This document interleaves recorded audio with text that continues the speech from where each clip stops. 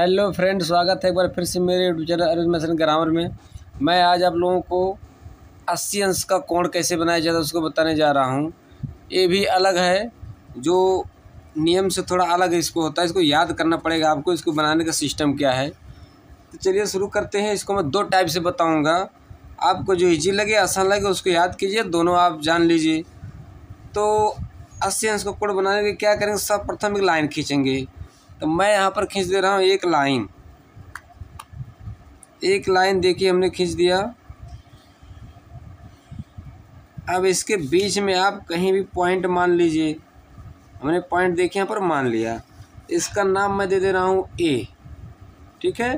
अब क्या करेंगे? एक उचित दूरी लेकर, एक उचित दूरी लेकर हम क्या करेंगे? एक अर्धवृत्त बनाएँगे। उचित त्रिज्या लेकर क्या कर रहे हैं? एक अर्धवृत्त बना रहे हैं तो देखिए हमने इसको अर्धवृत्त बना दिया। ठीक है?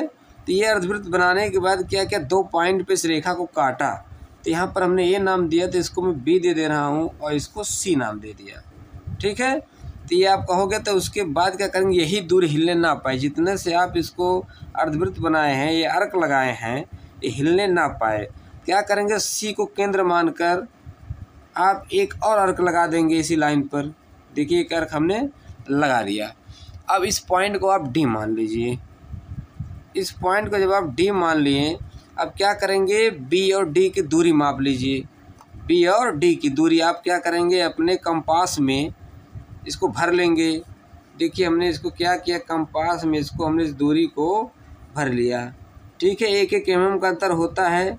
तो इसको आप ध्यानपूर्वक क्या करेंगे? भरेंगे ताकि नहीं तो एक एम एम गड़बड़ मतलब कि आपका सही नहीं बैठेगा। तो देखिए, हमने भर लिया इसको, इस दूरी को, ठीक है? अब क्या करेंगे? यही दूरी हिलने ना पाए। हम यहाँ देखिए, अर्क लगा दिए ऊपर की तरफ़ में, ठीक है?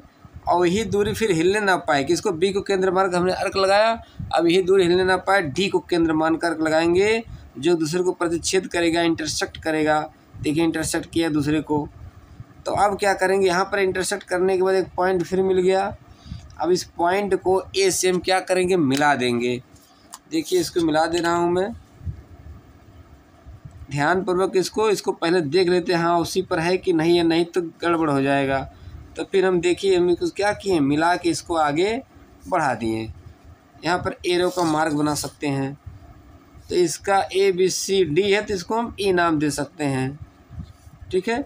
अब इसको मैं माप के मेजर करके दिखा देता हूँ, आपका अस्सी अंश आता है कि नहीं आता है।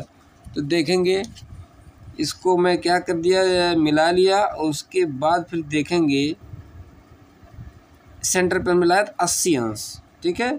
देखेंगे, ये सौ हंड्रेड इसके ऊपर है, एट्टी अंश, नब्बे के बाद, यानी कि पहले एट्टी अंश होता है। तो एट्टी अंश देखिए सेम सेम आपका लाइन मिल रहा है। तो अस्सी अंश का एंगल हो गया।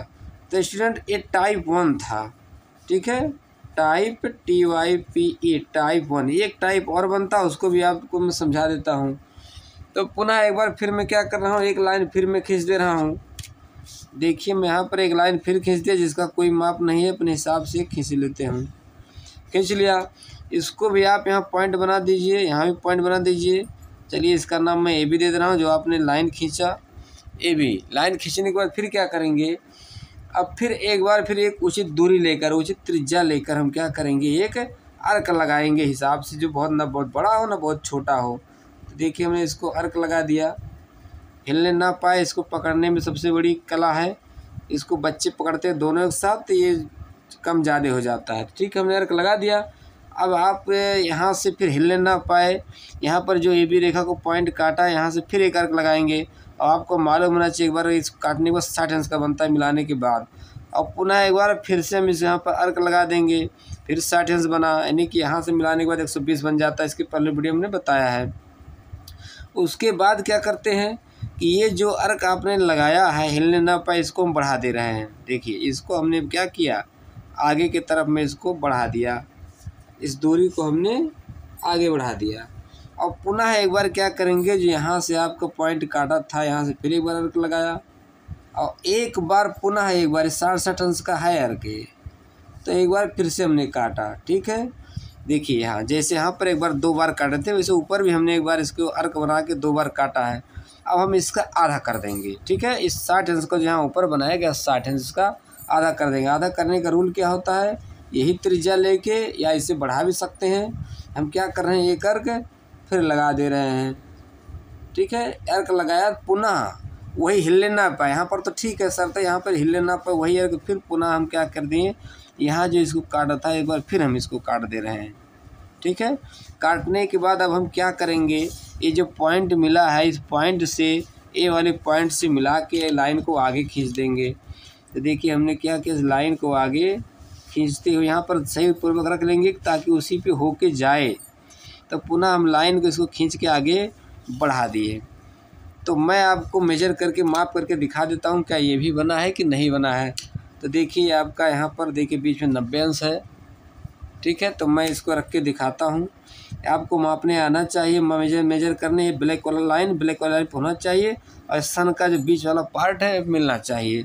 तो देखिए साफ़ साफ़ दिख रहा है। ये जो आपका नब्बे है, इसके पहले अस्सी है। तो आपका सेम सेम एकदम लाइन के ऊपर है, अस्सी से ये भी बन गया है। और ये ब्लैक वाला लाइन जो होता है ब्लैक वाली लाइन में मिलना चाहिए। तो ये मिल रहा है, देखिए ब्लैक वाला लाइन जो होता है। तो स्टूडेंट उम्मीद करता हूँ आपको समझ में आ गया होगा।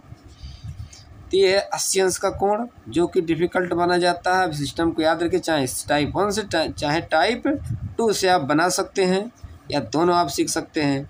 तो स्टूडेंट ऐसे और इंटरेस्टिंग वीडियो जानने के लिए हमारे चैनल को सब्सक्राइब ज़रूर करेंगे, बेल आइकन को ज़रूर दबाएँगे, ताकि इस तरह का वीडियो तुम भेजो तो आपको नोटिफिकेशन तुरंत आपको मिल सके।